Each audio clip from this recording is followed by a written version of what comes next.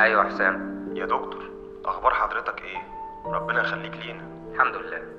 شكرا يا عم حسام. أنا عارف إني مقصر في حضور مادة حضرتك بس أنا معتمد على حضرتك زي ما اتفقنا إنك هتساعدني. أنا وعدتك واتفقت معاك. يعني خلاص أعتبر نفسي نجحت؟ لو عملت اللي قلت لك عليه هتنجح. يعني أنت بقى وشطارتك في الحل. طيب تحب أقابل حضرتك فين؟ اهو تعرفني هذاكر إيه؟ آه وبالمرة.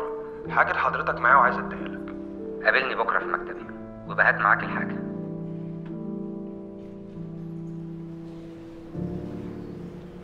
ده صوتي فعلا. والمكالمة دي حصلت. بس ممكن أي حد فيكم كده يقول لي كلمة واحدة واضحة وصريحة إن أنا ببيع امتحان.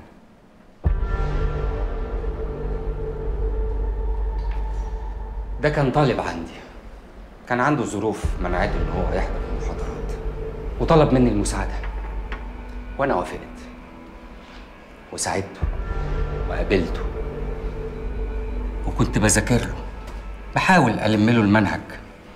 عشان يعرف يخش الامتحان ويحل. طب وإيه حاجتك اللي معاه يا دكتور؟ أولا تقوم تقف وأنت بتكلمني. ثانيا اسمها حاجة حضرتك.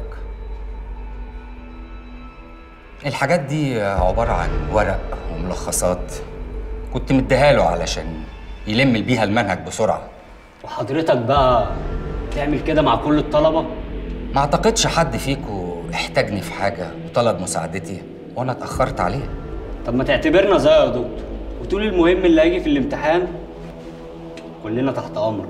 ده انت ناقص رباية بقى وأنا اللي هربيك انت جننت اوعى تكلمني كده اتجننت.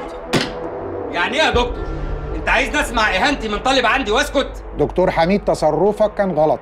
المشكلة اللي حصلت دي ومن قبلها مشكلة الطالب اللي سجل لك وسط إدارة الجامعة عشان هم اللي حبيتوا فيهم. وفي قرار بوقفك مؤقتا. أنا آسف يا دكتور.